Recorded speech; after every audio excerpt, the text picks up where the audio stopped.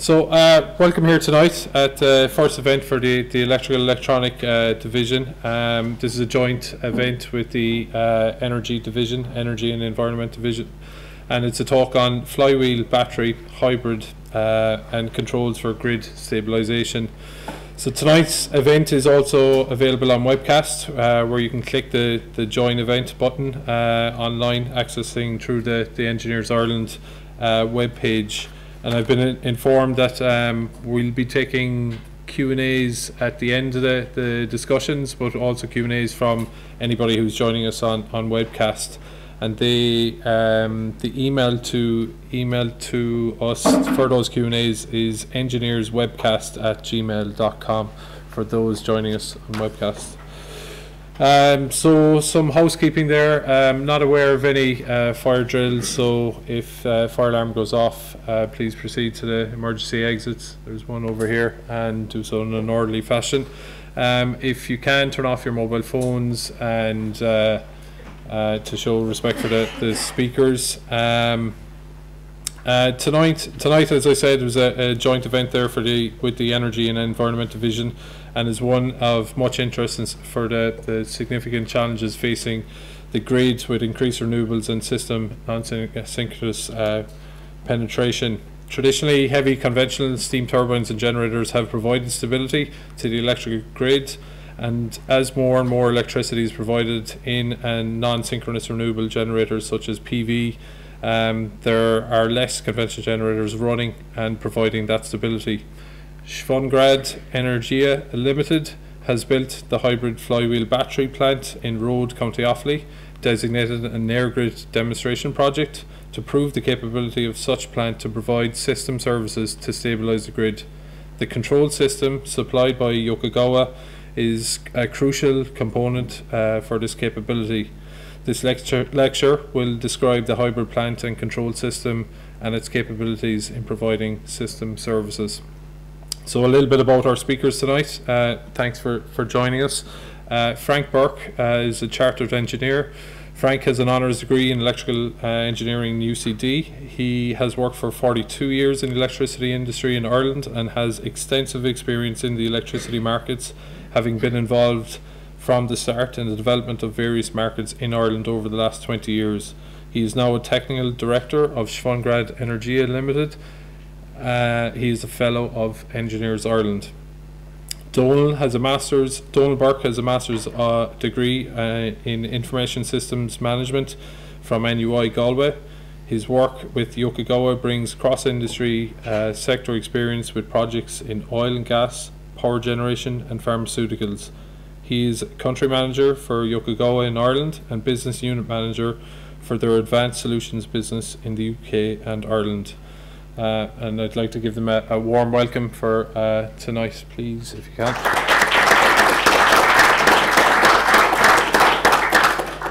Um, just on the format, Frank is going to talk for about 20, 25 minutes. Uh, Donal is going to talk for 20 minutes, and then we might hold the, the Q&A afterwards. Bernice Doyle of the Energy and uh, Environment Di Division will be uh, hosting the, the Q&A session. So without further ado, I'll hand you over there to Frank. Thank you. Thanks very much, Carol. Um,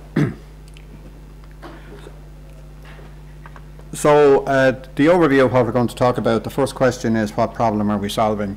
And um, as this is Engineers Ireland, I presume most of you are engineers, and if like, like, like me when I was in college, um, it was drummed into us that engineering is all about problem solving, and the first thing you do when you try and solve a problem is define the problem. And it's amazing how often we don't actually define the problem. So the first thing I'm going to do tonight is define the problem that we're trying to solve. Uh, and Schwungrad Energy was set up really specifically to solve that particular problem. Okay, so I'll say a few words about uh, Schwungrad. And then I'll talk about the pilot project that we have enrolled. Um, and I'll describe the technologies we have and then talk about the, um, the applications of those technologies. So what is the problem we're trying to solve? Um, yeah, sorry, that's fine. Um, Ireland, because it's got a very high target of uh, renewable energy, and it's already um, it's already up over the 20% uh, um, of actual renewable electricity. Um, that means that at times uh, there's over 50% of the electricity coming into the grid would be from, from renewables. And that causes problems for the stability of the grid. Uh, now, it's a particular problem in Ireland because not only do we have that high percentage of renewables, but also we're not very well interconnected, and the interconnections we do have are DC. So the actual grid is relatively small. You can take countries like Denmark that have a, a lot more renewable generation, but they're much better interconnected to other countries via AC. So their, their effective grid size is huge in comparison um, to the grid size in Ireland. So that's why we in Ireland are seeing this particular problem that other countries are be only beginning to see, and a lot of the countries haven't really, I think, grasped what the issues are.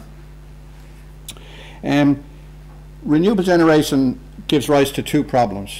Um, first of all, it's intermittent um, and it's unpredictable in its output, and I think everybody is aware of that, and that requires storage over uh, a time frame of many hours. So at times the wind is blowing, at times it's not, at times the sun is shining, and at times it's not. Uh, but the other problem is that there's a lack of inertia or grid stability, and that requires a different kind of storage, and that's really the storage that that we are attempting. That's the problem we're attempting to um, to solve in Schwungrad with what we have in our demonstration project. Uh, and this last point uh, just shows uh, how big an issue storage is. But most of that storage is storage on the, the first point about the intermittent and unpredictability of the, uh, the renewable output. Rather, and it's only, it's only now that uh, there's storage coming in for the second problem, which is about grid stability. So what exactly is this issue about grid stability? Um, as Carl read out in, in, in the little piece that I, I wrote as an introduction to this, um, the stability at the moment is provided by conventional plant. So you've got big heavy steam turbines, big heavy generators that are synchronized to the grid and they're sort of thundering around and they can ride through the bumps. So if something happens on the system and let's say a unit, a large generation unit, um, trips off the system, the system frequency will, will slow down and as it slows down, all these heavy machines are going to slow down and they will give up, automatically they will give up their kinetic energy into electrical energy and, and, and bring the system frequency back up. But PV won't do that and neither will wind. So as there's more and more renewable on the system, there is less room for these heavy generators to provide that sort of stability. And that's really why you need new plants that will come in that will specifically provide that kind of stability and, and will be able to inject power very rapidly into the system. At the moment, the grid sometimes run generators at minimum generation because they need the inertia that, that those generators provide. But when they bring those generators on, they have to turn down the wind, right? So they're curtailing the wind. Now that's not a major problem at the moment, but it gets to a kind of a critical point or a tipping point, whereas there's more and more wind and PV on the system, that will become a more serious problem. And if they continue to have to run those generators at minimum generation, they will be curtailing the wind and the PV a lot more. So, so batteries and flywheels will provide that sort of stability. Uh, you can see in the graph there um, that the system frequency is going up and down within a certain band. And there's a there's a point here um, where the system frequency takes a, a, big drop. And that's not a problem that a lot of um, other countries have because they're so well interconnected. Uh, but it's a problem that they will have in the future because that interconnection with countries that can absorb uh, that that can um, that can provide that inertia that will stop that uh, drop in the system frequency. Those countries will have more and more renewables as well, and they will have less of that heavy plant that's providing the, the stability. So this problem that Ireland has at the moment, other countries will have um, in the next sort of five to ten years. So Schwungrad Energy was, was set up, you know, specifically with this sort of issue and seeing this, I suppose, market opportunity. Um, and some of the people were uh, looking at this as far back as 2012, but the company was formally established at the end of 2013. Um, we're a team of energy experts. There's a couple of us ex-ESB. Um, there are other people who are entrepreneurs and have set up lots of other businesses. Um, and there's people that have a speciality in project management and environmental planning and so on. So we're quite a diverse group. Um, somebody somebody said that um, if they go to look at a, a, new startup company, if it's got more than two engineers, that um, you know there's kind of worries about that, because as engineers we tend to be too technical and we all think kind of the same way that you need a diversity. So we have a reasonable diversity in the company. Um, so we've identified this sort of uh, growing demand for um, plant that doesn't provide energy and therefore won't curtail the renewables, but yet can provide that stability to the grid. Uh, so we're targeting the Irish market first under this um, the EirGrid's uh, DS3 program. Um, we're also looking in uh, in Great Britain. They have a, a new product that, which they call uh, enhanced frequency regulation, and they recently went out to tender and they got over 200 megawatts, um, mainly of lithium-ion batteries, to provide this enhanced uh, frequency regulation. When they when they went out initially um, uh, for expressions of interest, they got something like 1,300 megawatts um, of interest. Now a lot of that fell away, but they still had no problem in getting over 200 megawatts, which is what their target was in this first round for enhanced frequency regulation. So you can see that this is a this is a, a, a, a bigger and bigger issue, um, and the markets are growing to accommodate that. Um, we've also set up a joint venture in in um, in China, and um, there's been some interest from Vietnam as well. Uh, so what have we been doing? Uh, the first couple of years was really looking at um, what sort of plant we should use. Uh, should we use flywheels? Should we use batteries? If so, what kind of batteries? What kind of flywheels? And we we looked around the market at at um, at different flywheels, and we we. Uh, we decided on the Beacon flywheels in the US because they have a lot of experience and those flywheels were designed specifically for the power industry. Uh, then in 2015, last year, was really, I suppose, when it all came together, when we, we got some finance uh, from Enterprise Ireland and from SEAI, and um, we put a lot of, the company put a lot of its own finance in. Um, and we, we built the demonstration project and Rhode. Last year we installed the flywheels and commissioned the flywheels, and then we installed and commissioned the batteries in the early part of this year. So this is a demonstration project um, with EirGrid and um, glad to see EirGrid here. Um, and uh, and we we've we've done most of the testing at this stage. We have we have three different modes of control, and we've tested two of them. We're just starting to test the third one now. So we're kind of at the stage of um, beginning to sit down and, and, and write the, the report. And then next year and the year after, um, we'll be going into uh, the sort of commercialization stage. And we're also looking at, at other applications for this technology as well. And I'll, I'll say a few words about that later on. Um, the pilot project, uh, I mentioned Beacon Power are the, the people who um, have provided the flywheels. Uh, Hitachi Chemical have provided the uh, the, the batteries, they're lead acid batteries, and the reason we chose lead acid batteries is that because the market here is looking for plants that's basically just sitting there ready and waiting to inject power into the system when the system frequency falls. That only happens maybe 30, 40 times a year. So there aren't a huge number of cycles, so you don't need that can have, you know, um, tens of thousands of cycles. Um, RR Projects um, are the people who actually did the, the installation and are involved with Schwungrad. Some of the same people in RR Projects are involved with Schwungrad. Um, we've got funding from the EU and Horizon 2020. Um, most of the funding came from Enterprise Ireland and SEAI. Um, the uh, it's a demonstration project with EirGrid. The uh, control systems have been provided by Yokogawa, and Donny will be talking about that shortly. And the University of Limerick are involved as well because it's a, an innovation partnership um, program So they have provided the, um, you know, some, some research facilities for that. It's in um, Rhode in County Offaly on part of what was the old um, ESB Rhode Power Station. Um, and there's two beacon flywheels, 160 kilowatts each. Um, the the uh, the flywheels can provide full output for five minutes, and then reducing output um, from full output down to zero over the following uh, 10 minutes. So it provides half the output at a constant power. Um, and then the batteries, the lead acid batteries, 160 kilowatts and um, 576 kilowatt hours. There's more kilowatt hours in it than we really need, but um, that was just the way the, the, the, batteries came. So we could run those for um, over an hour and only uh, have a depth of discharge of 30%. And we're connected into the local um, ESB network at medium voltage at 20 kV. And I, have mentioned the, uh, the funding that we've got.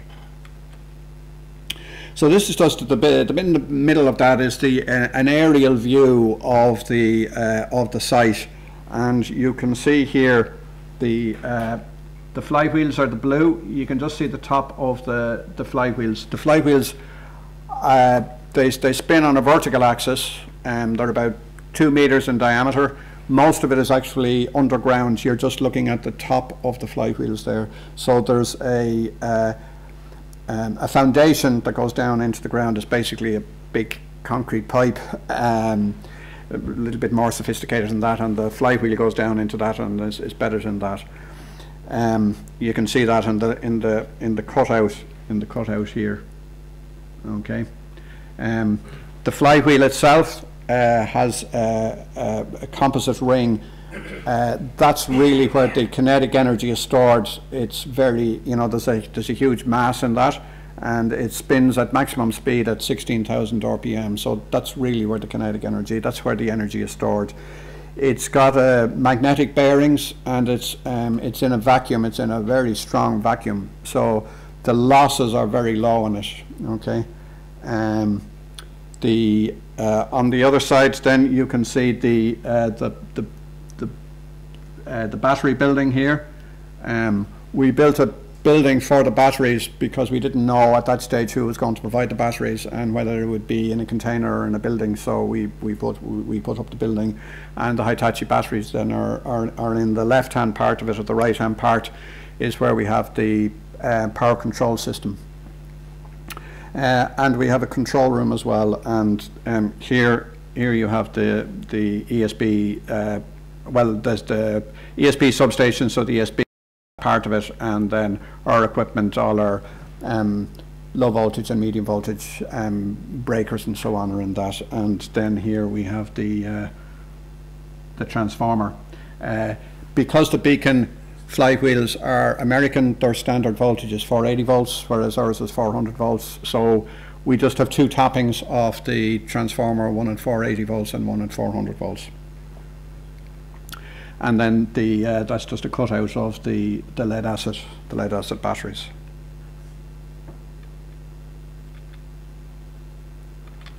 Um, I'll, I'll, just say a few other words. We, with the the um, in the control room, uh, there's a cluster controller for the uh, the beacon flywheels. So it's a single controller for the two flywheels. You could have a cluster of say five or ten flywheels, and uh, they would all operate in, in unison. Okay, um, um, so there's the controller for that. These um, these parts here are the power control modules for the beacon flywheel. Each beacon flywheel is um, self-contained, so it's each of them has their own um, power control module, and they uh, they have a a uh, just a cooler there as well for cooling the IGBTs and for cooling the flywheel.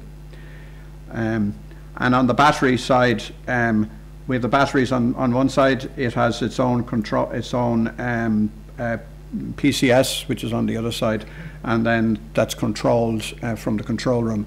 And then the Yokogawa control system um, is is at the, the next level, and it, it sends its signals to the beacon control system, which sends it out to individual flywheels and to the um, uh, Freqcon who provided the, the PCS for the batteries. So the, the, there's um, there's the, the Yokogawa control system, and then there's the beacon um, for the flywheels, and then the battery control system underneath that. So why do we use a mixture of uh, flywheels and batteries? The, the reason really is that um, flywheels have an almost infinite number of cycles, um, whereas the batteries are limited in that. Whereas the flywheels have a limit to the amount of energy you can store in them, whereas the batteries can, can last for longer. So when we put the two of them together, we, we have a, a, a very good synergy between those two so that we have uh, the, the, the, almost li limitless uh, number of, of cycles in the flywheels and as much energy for as long as we want in, in the batteries. Okay, and that's really what's, what uh, what is, this this is saying here. Okay, um, so it's uh, you know kinetic energy in the flywheel and it's uh, chemical energy in the batteries and the, the flywheels are more high power and the batteries can provide high power but they can also provide high energy, ex extended energy. And they're really designed for the system services market in Ireland, which is this DS3 market from, from EirGrid, and the particular products that they will pay for, so, because this obviously has to be commercial. And you might have a different hybrid in a different country that required different system services or that paid for different things. So we have lead acid batteries in Ireland, we might use lithium ion or flow batteries or some other kind of batteries in a different country if the application was different, okay, if the requirements were different. You can see here the system services that's so we can provide frequency regulation. Now there's no payment in Ireland at the moment for frequency regulation, although under the DS3 there there is um, one of the one of the um, what is it called the factors uh, multiplying factors on the payments. Um, does have a, a, thing in there depending on uh, how big of a deadband you have around the frequency before you respond. So if you make the deadband zero, then you'll get more money than if you have a bigger deadband. So there is some recognition of the value of um, of uh, frequency frequency regulation. And in many countries, frequency regulation is something that's paid for, and that's really where the flywheels come into their own. Um, so we can provide the um, um, that frequency regulation and response in less than one second.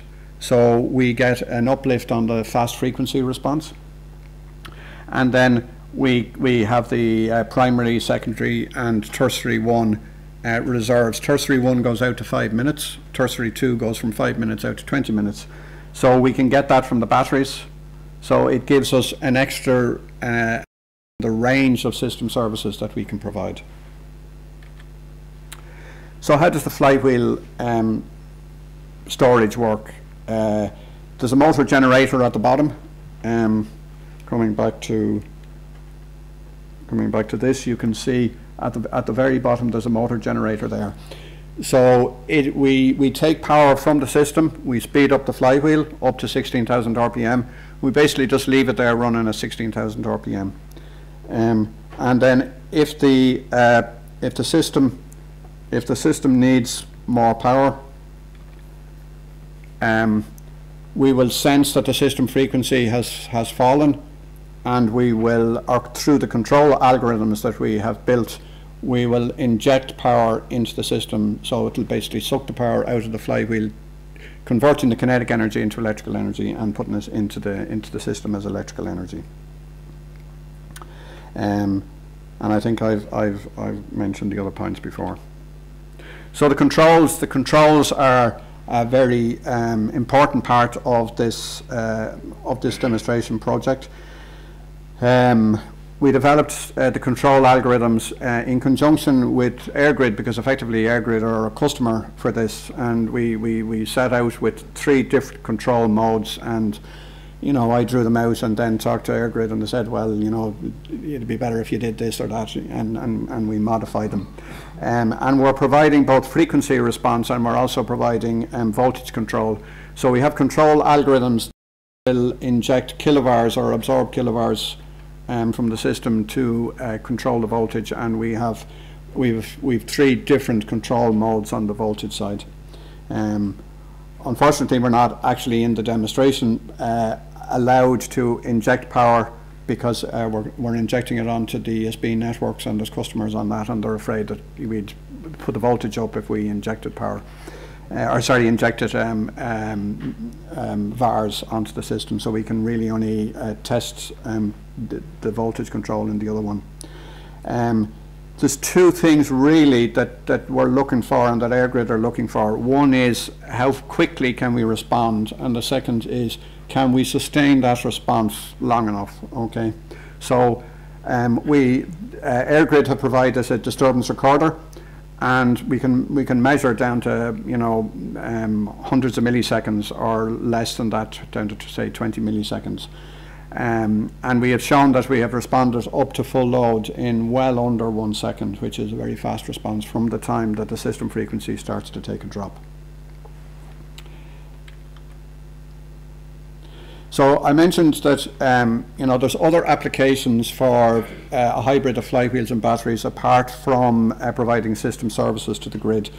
Um, I mean, initially we're targeting this DS3 market in Ireland and the enhanced frequency regulation market in in, um, in GB. Um, but there are also other applications in terms of co-locating with either existing plant, existing um, thermal plant, generation plant, or also um, new plant, particularly renewables. Uh, in terms of the existing plant, sometimes existing plants have difficulty in, in providing the system services they need, and they can either modify it to provide more system services, or they can bring in flywheels and or batteries to provide those system services. Um, the bigger market is probably really in terms of the renewable generators, and with I-SEM coming in, and the requirement for renewable generators to actually provide what they predict they're going to provide in a, a certain settlement period, then there is a, there is a value to firmness. There's a value to them being able to actually provide what they say they'll provide in a, in a, in a particular um, trading period. Um, so uh, storage uh, of energy is useful from that point of view, um, down to the sort of the half-hour trading period. Um, so batteries would really be the thing rather than flywheels in that particular application. There's a number of other applications too um, um, where, where we see uh, an opportunity for um, a mixture of flywheels and batteries. One of the things that's interesting is that um, the, the variation in output from PV is much more rapid than the variation in output from um, from wind. You know, wind tends to vary, you know, slowly, relatively slowly, uh, and there's a certain amount of inertia in the wind machines, whereas PV, a cloud comes over and suddenly the, the, the output dips down, and the cloud passes and the output goes up again. So, you know, again, there's different horses for courses and different kinds of dynamic storage that are useful in, depending on on on um, on what you what you have them with, whether you have them with PV or with wind. So, in terms of full-scale commercialization, um, we see that like this is an issue that we're seeing now before 2020, but as, as targets for renewables increase beyond 2020 to 2030 and 2050 and talk about having almost completely green electricity, um, these issues are going to become much bigger, not only here but right around the world. So there's an increasing need for this sort of dynamic storage to stabilize the grid. And the value of those system services are beginning to be recognized around the world. I mean, certainly with DS3 here and with the, the new enhanced frequency regulation in GB. And in other markets, there are, there are other ways of recompensing people for providing those uh, stability services.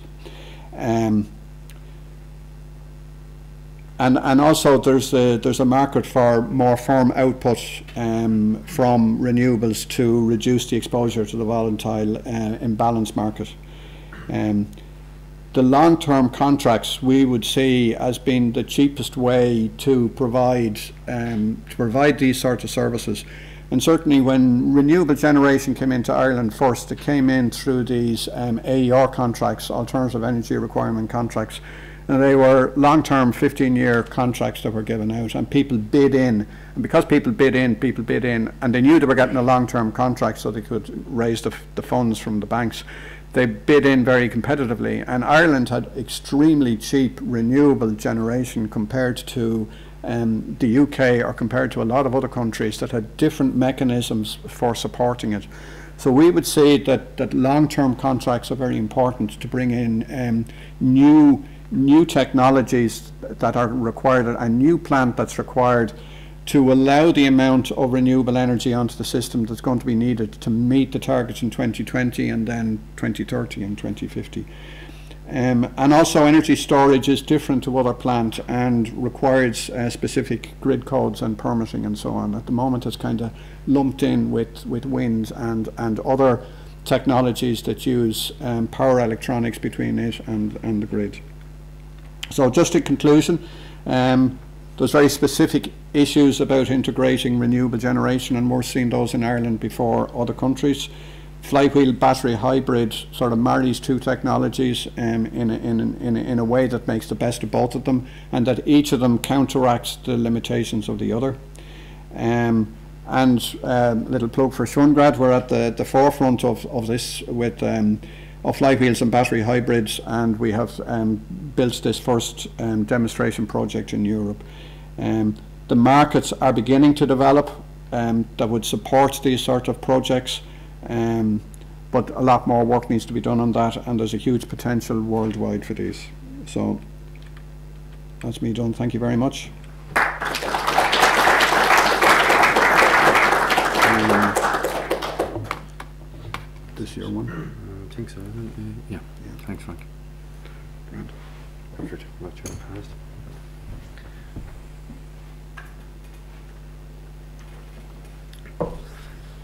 Thanks, Frank. Um, I'll just focus on the uh, on the control and information technologies. Uh, Frank briefly mentioned uh, what our scope was in the project. Um, uh, initially, I'll give you a brief overview of who Yokogawa, who Yokogawa are to put it in context as to why um, why we're involved in this project. Then I'll look at the, the some of the key high-level requirements from Schwungrad for the control and information technologies deployed on the plant. Um, thereafter, I'll talk about some of the constraints uh, with R&D projects when it comes to uh, the unknowns and uh, finances, and then look at uh, the delivered technologies and also uh, the system architectures and future vision for the commercialized plants. Um, so Yokogawa, just uh, a couple of key facts about Yokogawa. We're a Japanese company, as you may tell from the from the name. Uh, we're just over 100 years old, headquartered in Tokyo. Um, we provide, we manufacture and provide uh, measurement control and information technologies and the associated engineering and services of those uh, uh, technologies to process industry, predominantly uh, oil and gas, power gen, chemical, uh, pharmaceutical industries. And we provide services throughout the complete life cycle of those plants, uh, from the technologies right through to the service and consultancy related to the deployment and service of those technologies. As I said, we're headquartered in Tokyo. We've 20,000 employees worldwide, uh, 92 affiliates in 59 countries, uh, providing local support to our clients in the regions. Uh, in terms of our skilled engineers and knowledge base, uh, we've over 4,000 uh, project engineers out of the 20,000 employees in 38 engineering centres globally. And uh, additionally, we have over 1,000 uh, uh, experienced solution consultants with, which specialise in the areas of process consultancy, cyber security, and advanced process control, and those areas of the business.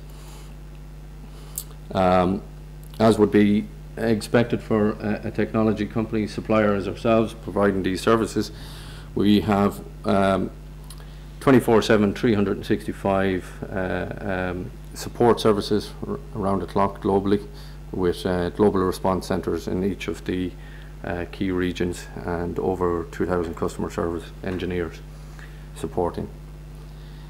So for the Schwungrad project, I suppose the, the high level requirements, the key requirements from Schwun, uh, for the control information technologies were that they need a real-time control and operation of the plant, including secure remote operations. Most of the requirements um, they needed information technology to record the plant performance, key data, K KPI analysis, um, remote engineering capability, and uh, a PLC which could uh, provide the services which uh, the, the uh, uh, to respond to the frequency events, uh, to process the signals, and to provide the the control output in less than 100 milliseconds.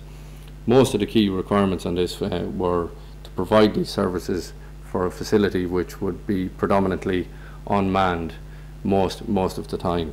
Uh, so operators are uh, responding to uh, alarm outputs or, or information that they're getting via their mobiles or uh, uh, uh, via email and that. So most of the Schwungrad personnel would be unmanned. So it was it was key that the the technologies could provide that facility in a secure fashion.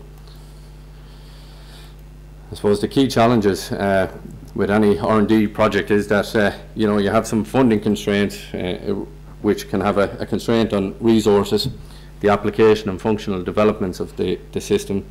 You want to deploy everything, but it's you know you, you have a limitation of budget, and, and yet uh, there's a lot of unknowns and how you how you manage those and how you can manage variations as they as they develop um, because of the unknowns. There's a lot of functional design uncertainty when it comes to how the application needs to be developed.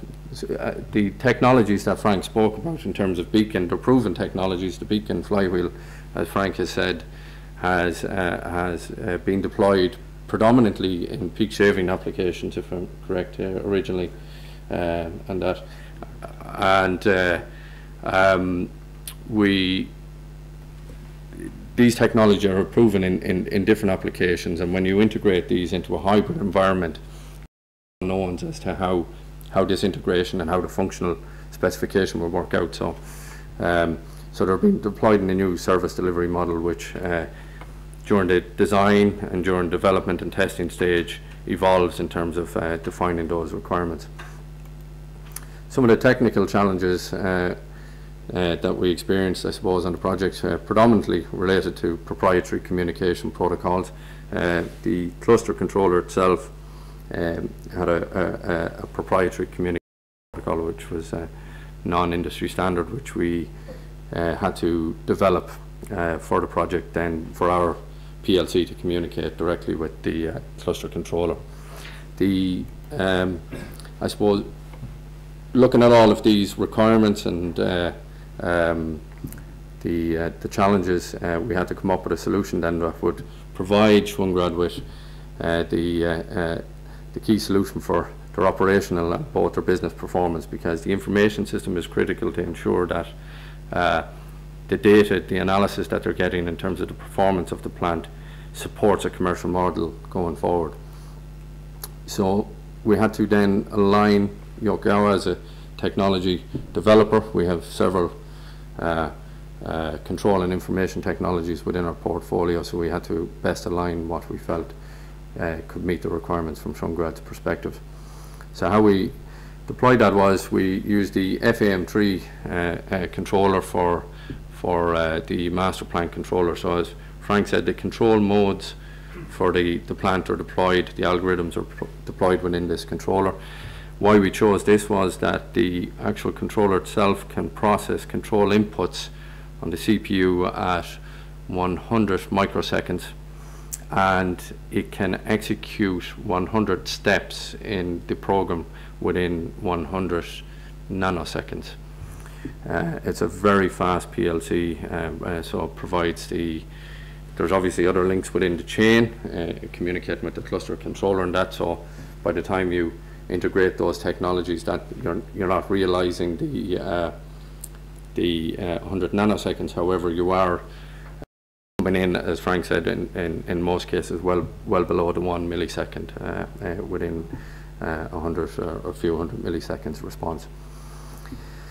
The addressing the security and the remote uh, operations requirements, we deployed our proven um, SCADA platform. Uh, this uh, provides secure operations in terms of uh, remote um, remote clients for Schwungrad to access the plant remotely and operate and see how it is performing.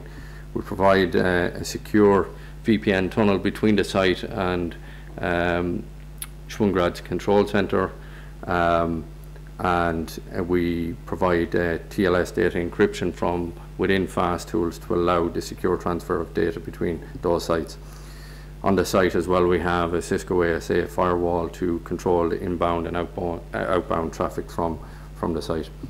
The SCADA designed to ISA 99 or now the IEC 682443 standard uh, with respect to uh, network uh, security for industrial control systems. Uh, the web HMI clients provide the facility to allow Schwungrad to remotely operate the plant, but if necessary also to provide uh, remote engineering on the facility, so any modifications or changes that are required in, within the, the SCADA layer. Um, for the data analysis, we provided our data historian, which extracts the performance data from the system and allows Schwungrad then to perform reports and KPI analysis to ascertain how the plant is performing and to run their own modelling on uh, different scenarios. So with respect to the then it's a, this is just a high level architecture of how the plant is structured. So at uh, the ISA 99 level 1 uh, section of the architecture we have the plant master controller which interfaces with the, the Beacon cluster controller, the power conversion system uh, for the battery and the uh, substation. So the main control algorithms developed by Frank uh, Schwungrad and uh, EirGrid are deployed within the uh, plant master controller. Then at level two at the plant we have the uh, engineering and operator workstation and uh, an OPC server and firewall which deploys the information to the remote clients at the remote operation center. Um, and the data historian is held at site where, where uh, further analysis is performed by uh, Schwungrad. Going forward with the uh, with the, the Schwungrad vision and their, uh, I think they've been very innovative in terms of the deployment of their technologies and they're uh, continuing that innovation with their future vision in terms of how the commercial plant models may work and how the uh, supporting technologies might be developed. Um, and uh, the the future vision would be to, I suppose, embrace the uh, the industrial internet of things in, in, in deploying secure cloud-based uh, SCADA platforms and uh, um, and uh, uh, operational intelligence platforms such as the data historian and that. Um, by deploying these in a secure off-site um, environment, a cloud-based environment, you are reducing the level of risk in terms of having your operational systems on servers within that is unmanned that may be hard to get to from a service perspective. So uh, having it in a, in a, in a data center uh, in one of our secure data centers, having replication and redundancy means that we can facilitate 100% uptime and guarantee that the performance of the underlying hardware technology that supports the software systems will, uh, will deliver every time.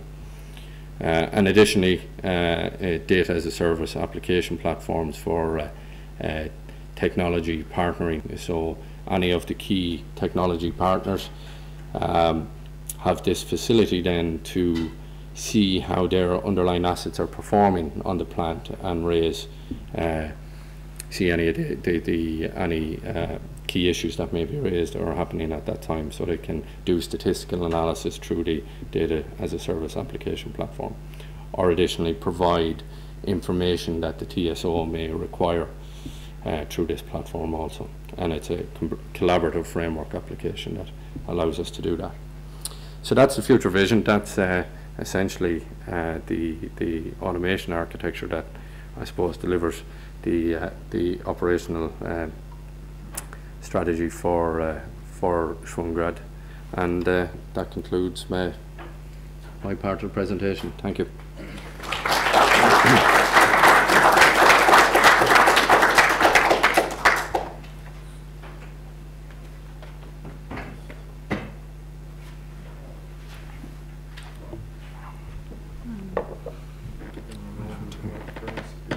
Yeah, okay.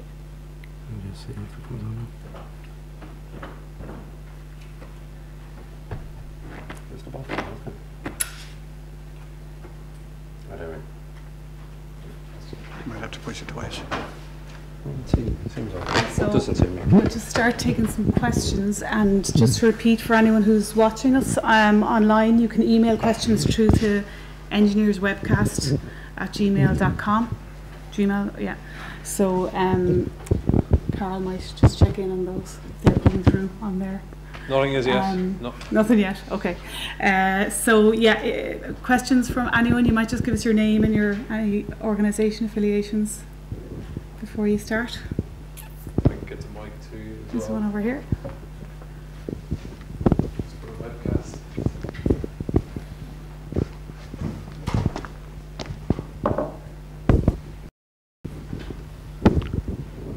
Hello. Hi, uh, John Trainer, the SPI. Um, very interesting technology and so on, and best of luck with it. Absolutely. And uh, I understand the basic, you know, framework that you're describing. Frank was describing in particular, and like, uh, you know, the market rules are changing. Like flexibility is becoming very important. Storage, rapid response, all that. Um, commercially, and you mentioned the long-term contracts and I understand the, the reason for it, the, the argument for it and so on. But where is that with with um, with the authorities in terms of you know are they going is there going to be allowed to offer long-term contracts to to kind of you know build up a portfolio of, of private storage providers like yourselves? Um, Okay, yeah, that's good. It's a good question. Um, under the DS3, um, there are now interim tariffs for this year, for um, from October this year to the end of September next year, and then there'll be a second uh, year which will bring it to the end of September in 2018, and then there will be um, an enduring arrangement which will include short-term contracts for existing thermal plant but will include long-term contracts for new plants that would be built. Now, absolutely clear yet how long the long-term contracts will be, but that's the theory that there will be long-term contracts, specifically so that new plants will be able to be funded um, for that. I suppose the other thing that I didn't mention was that the uh, the amount of money uh, in the in the market at the moment for system services or ancillary services traditionally has been about 60 million, and has been increased in the interim tariffs this year to about 70 or 80 million. But um, CER has agreed that by 2020 that can go up to 235 million. So it sees that there's going to be a movement away from um, energy and capacity uh, revenues for generators. Some of that will go into the uh, into the ancillary services or the system services market. So particularly on the energy side, you know, the the the the, the, marginal cost should go down, and I suppose the total cost of energy should go down too because there's less fuel. You know, um, more of the energy is being provided um, without having to pay fuel. So the variable cost of energy will go down. So you know, some of t- to get to be able to get that benefit and get all those renewables in, you need more system services. So some of that money will go into the system services market. Sure. No, I mean, absolutely take the point. And uh, I, I have no idea what the answer is. Uh, obviously, you have, to, you have to be optimistic and you know, have a kind of a business plan. Um, we have to wait and see, I guess. You know, um, like, uh, ideally, you would want a long-term contract. Uh, in, in in the energy market and, and also the general EU approach in energy markets is to is, is looking to avoid long-term contracts, you know, as a kind of a stitch-up or something like that, you know. Uh, uh, and would, would it impact you dramatically if you were, say, if you were having wi- with this technology or different different uh, installations of this technology, or people bought it from you, right? But would it impact on the on the business model much if you were having, if the owners of the individual plants were having to kind of bid in on an annual or, or triannual basis or something like that? Well, obviously, it makes it more difficult to get funding if you don't have a secure long-term contract. And I mean, I understand what the issue is about giving long-term contracts. That that there is a concern that um, EirGrid would uh, would restrict itself by taking too much in long-term contracts at a price that may or may not turn out to be, um, you know, competitive. And I know that's what the issue is. Yeah. But there is no reason why EirGrid couldn't give a certain amount of long-term contracts, you know, in 2018 and more in 2019 or 2020, or maybe every second year or something like that Sure. where there's a certain amount that, it, that, that is fixed. And in fact, that provides some security of the costs to EirGrid because they know what they're going to be paying for it over the number of uh, an, an, a number of years. It's like a long-term hedge contract. Sure. Um, so I think that Yeah. hopefully answers that question. Thank you. Jerry Duggan, Energy and Environment Division. Thanks very much. Uh, very interesting. Now, the cynic in me would say that it's very appropriate to locate a high inertia plant in Rhode. I'll say no more than that. But those who've ever worked in Rhode would know what I mean. Uh, the question, I, or two questions I have is, one is, can you describe the capacity of the plant in terms of megawatt seconds? And how does that compare with, say, a conventional unit at Moneypoint, where you're looking at 300 megawatts and maybe 1500 megawatt seconds or something like that? And the second question is, EirGrid in their paper, nearly 100 long, page long paper, on synthetic inertia placed a lot of emphasis on the, the, the time it took to actually determine that you had a frequency fall. And are you, yeah, what systems have you in place to determine that? And then following that lag, how fast can you respond? Okay. Um, taking the, the second question first. Um, we we monitor the system frequency, and um, we actually we actually have in our algorithms we have a number of algorithms. Is just monitoring what the system frequency is, and as it falls, you know, through our algorithm, we'll say it's now reached a certain point, and therefore we want to start injecting, or it has reached some critical trigger point, and we now want to go what we call full blast and give a full blast output. And the uh, uh, through the Yokogawa control system, that actually works very quickly. So uh, I know that there's a, a concern about how do you know exactly what the system frequency is doing and how quickly can you monitor that. But our experience is that you can monitor it actually very rapidly and that, that the, uh, the, the rate of change of frequency, we have a separate algorithm for rate frequency which overrides the other one and will give a, a, a full blast for a certain length of time and then it reverts back to the whatever algorithm it was running on so that after a number of seconds if the system frequency is still low it will continue with whatever output is appropriate for that particular system frequency. Um, on, on your first question in terms of megawatt seconds, I can't remember what the answer to that is. I, I did some calculations at the beginning. It really was overtaken by the requirement the, the requirement was defined by how quickly can you respond rather than by the number of of, um, of megawatt seconds and we can we can respond in and be up to to full output in well under one second um, and we can sustain that for five minutes so uh, you know that gives an indication of the, the stored energy and how long we can sustain it if the system frequency remains low for that period. Sorry, your megawatts are? Oh, sorry, each, each, each flywheel is 160 kilowatts. So in our demonstration project, we only have 320 kilowatts of that and another 160 kilowatts of, um, uh, of, um, of battery. But uh, Beacon have two plants running in the United States, each of 20 megawatts. So they just have, you know, a few hundred um, flywheels and they have them clusters of 10. Um, so it's, it's completely scalable and you know we could put in 20 megawatts or 50 megawatts. And we have we have planning permission in Rhode for for 20 megawatts which we would connect into the Derryiron um, 110 kV station which is just over the other side of the hedge um, the old Rhode power station. And um, I worked in Ferbane so I know what you're talking about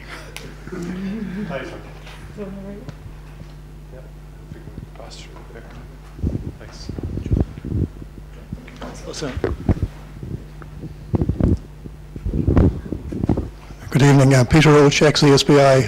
Uh, it was a very interesting paper both of you presented, so thank you for that. Um, I have a few points to, to make. Um, one is, get it off my chest, I have a patent for the utilization of flywheels using DC links, uh, but that patent has expired many decades ago. but the concept developed in the 1960s of having a high-speed flywheel and using DC-DC converters to interconnect to a 50 or 60 hertz system. Um, but just to come down to uh, some of the issues that uh, Jerry raised there about the speed of response, um, certainly DC links, which is the conversion from energy to spinning energy to uh, electrical 50 hertz energy, um, the speed of response can be extremely fast. You can go from kind of zero power to full power within kind of number of tens of milliseconds. So there's no problem following a particular frequency swing. And typically the frequency swing in a power system is about two to three hertz. You don't get any higher frequencies than that. Well, after a couple of uh, milliseconds, it's normally two to three hertz. So the flywheel can easily follow that. And um, I was involved in the design of a stabilization system uh, in Canada where a, a, large DC link was being employed to feed hydro energy into the Canadian system.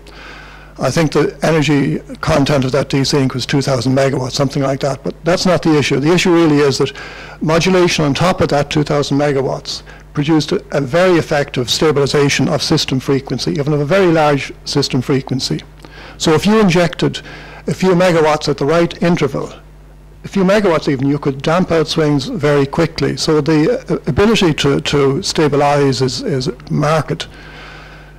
Um, just a few other thoughts. One issue that arises is as your flywheel has its energy extracted, or indeed is speeding up, and one side of the DC conversion is operating at very strange frequencies, anything from kind of 25 hertz up to 50 hertz as it speeds up. And the harmonics that arise in that case are just horrendous. And they can do awful things.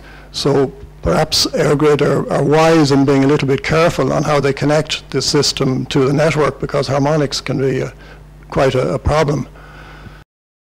Um, yeah, I suppose the final remark or question I would put to you is, have you any idea in terms of megawatt seconds, what kind of gross energy required by the, the, network should be available within, say, the time frame of a few seconds to produce the stabilization. Are you talking about a number of tens of kilowatt hours or dozens of you know, megawatt hours, which determines how many type of uh, stabilizers of the form you're designing might be needed? Thank you.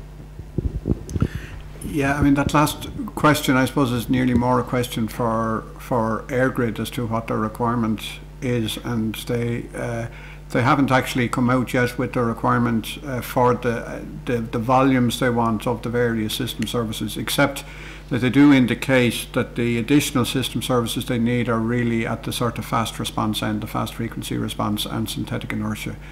Um, but um, I don't have a figure for exactly how many seconds is is actually required.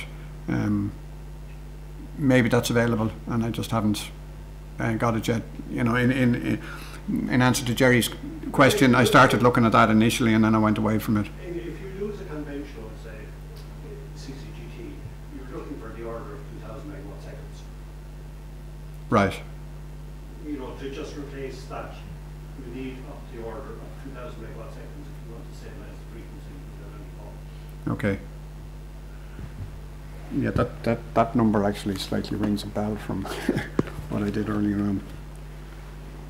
If I could add to that perhaps that the rest of the system is producing some form of spinning reserve. So all the other synchronous machines are contributing to this, um, their, their kinetic energy to, to stopping the frequency falling. So all of the response needn't come from stored energy such as the flywheel or the battery. Uh, a lot of it is coming from the rest of the system plant. It is, and I suppose the point is that there's less and less of that conventional plant as there's more and more renewables on. So uh, at the moment, uh, well, up to about a year ago, EirGrid was um, restricting the penetration of non-synchronous generation to 50% of the total uh, instantaneously, and they raised that up to 55% uh, this year. Um, but they need to get it up to 75%. Uh, they reckon to be able to accommodate the amount of uh, renewable energy in the system that's required to meet the 2020 targets. So, uh, you know, uh, that means that only only a, only a quarter of the, the the, the plant would actually be um, conventional plants that's providing the inertia at the moment. So whether that means we need 1,500 megawatt seconds, I don't know. Maybe that's it's a more complicated um, answer than that. We might just take one or two more. This gentleman. Um, Sean O'Callaghan from Electronic and Electrical Engineering in Trinity College. Uh, just first of all to say I think that the innovation is very good. I think yeah, the future is very bright for this sort of technology, particularly because, as you're saying, old thermal plant is is going to go the way of the dodo in the next 50 years, in my estimation, anyway, with the advent of microgeneration and an awful lot of microgrid storage. I think the future is very bright. Um, you mentioned that you're using lead batteries here, that you use flow batteries and lithium in other places. Um, I was just wondering if you're in a position to comment a little further on the, the reasons behind the selection of the battery and if you've given any consideration to using the impending mass amounts of end-of-life electrical vehicle batteries which are going to come into the marketplace now in the next you know five to ten years. Uh, yeah, uh, it's a big question, that whole question of batteries and what batteries you use. Um, one of the reasons why we use lead acid in this case is because lead acid light uh, well first of all lead acid is restricted in the number of cycles but that's not a problem for this application it would be a problem in in a, in, a, in, in some other markets um, secondly lead acid likes to be um, kept pretty fully charged whereas I think lithium ion prefers to be around 70% charged um, so if you have lithium ion in this and you, you, you want to keep it at only 70% charged, then you only have 70% of the capacity and you're only going to be paid 70% of what you would be paid if you were 100% charged. Um, it depends too on, on whether um, you are only looking at, say, out to TOR 1 or TOR 2, that'd be um, 5 minutes or 20 minutes, where you don't need a lot of storage and what you really need is power. Um, and again, um, you know, uh, well, either um, lithium ion or uh, lead acid is good for that, and you wouldn't use flow batteries for that. Whereas if it was, if the application was um, with, uh, say, a lot of wind, where you know some days it's windy, some days it's not, and if you wanted to be able to, um, and and and if the, the, the wind energy sufficiently drove the marginal cost, um, then what you would want to do is store some of that energy and then be able to um, sell it into the market at a time when there was very little wind and the price was higher. And in a case like that, then something like flow batteries would be very good because they really come into their own in terms of economics when you uh, have maybe three or four hours or more of storage. So you know, it just depends on now. There's there's a whole range of other batteries. I'm not an expert in batteries. Um, Dr. Robert Lynch in in uh, in UL is our expert on the batteries, and he's part of that project. Okay, just one more. I think this gentleman was none came in online. Uh, no, no. Hi, uh, thanks very much, Pat Dowling from ESB. A uh, very quick question. Um, as you're both um, a demand customer taking up electricity from the grid and with an MEC you're exporting, what kind of input have you had from CER in terms of how you will be assessed under the whole new world of DS3 be done through the likes of non-group processing applications or what kind of feedback have you had from CER on this? Uh, well, yes, we're, we're, we're both a demand customer and also we're a generator. Um, our MEC is higher than our MIC, so that we're, um, we're regarded like an auto generator. Um, we, one of the problems we have, uh, we have is that we're hit with um, a very high PSO um, levy which um, half of our, our cost of el uh, ele electricity is actually the PSO levy. And so even if we even if we shut down the machines, we'd still have, be paying half our electricity bills. Um, in in terms of the, the, the gate process for connection, I think was what your question was. Um, CER came out uh, about a year ago or sometime towards the end of last year um, with the paper about um, connections, connection processes with uh, suggestions for connection processes and changing to the, the, the, the current gate process. And in it, it recommended that um, there would be uh, that uh, that plants that was being uh, connected for DS3 services would be outside of the gate process, so that we wouldn't have to get into a queue with with more and more wind and more and more PV to provide the sort of uh, services that are, that is required, so that they can get on. Thank you. Do we, one more maybe? Still one- yeah. Yeah, sorry.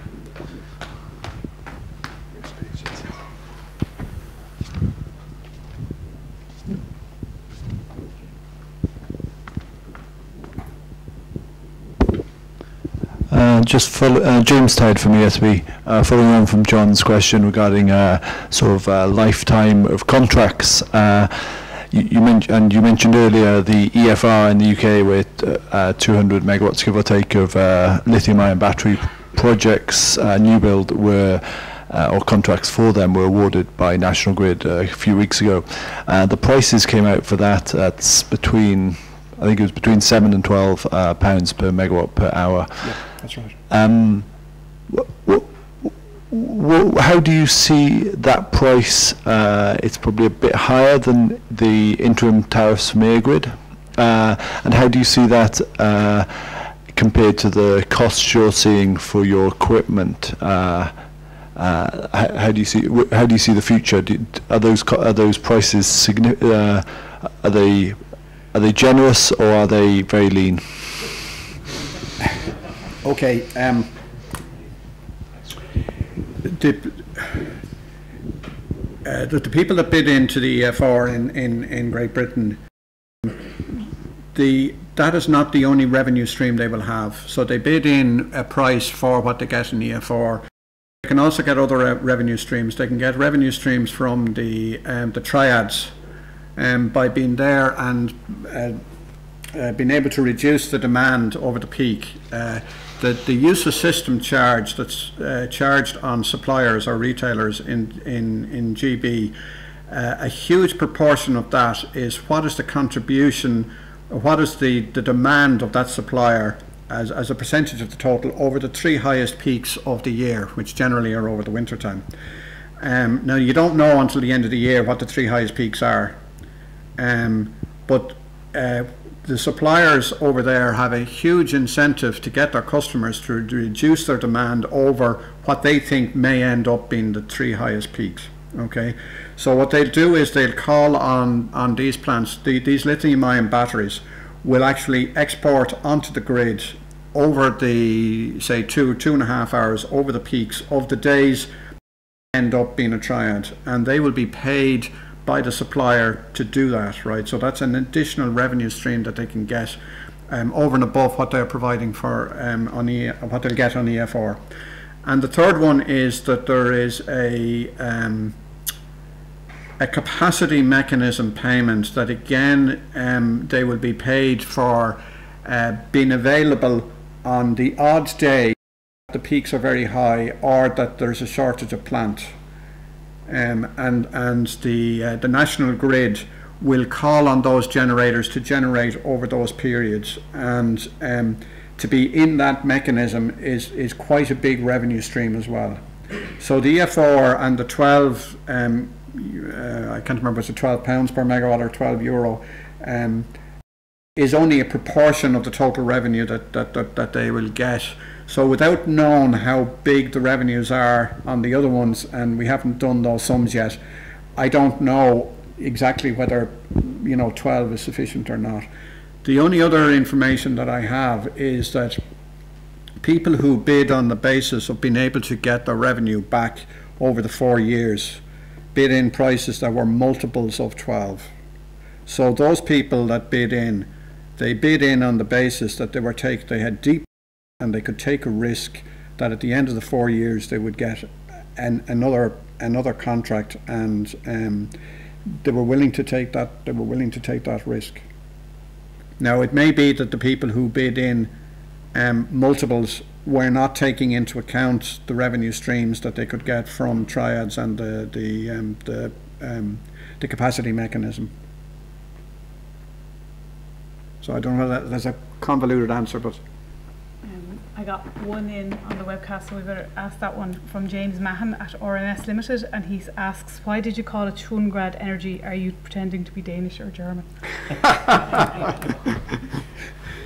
Um, the answer is yes. Um, it's a it's a it's an Irish company, but the guy who set it up uh, thought at the time that it would be very good to have a, a German name. It kind of gave a, a, a certain um, uh, kind of uh, solidity to it, and people had. Uh, belief in German engineering and um, honesty and integrity and all that sort of stuff until uh, Volkswagen got caught out.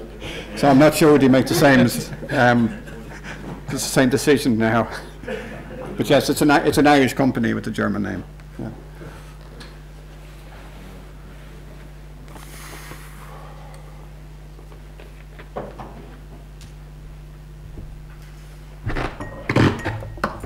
Very good. Um, I won't be uh, long more. Um, I just want to again thank uh, Frank and Donal Bourke for the very interesting discussions. Um, and uh, if we can express our gratitude again.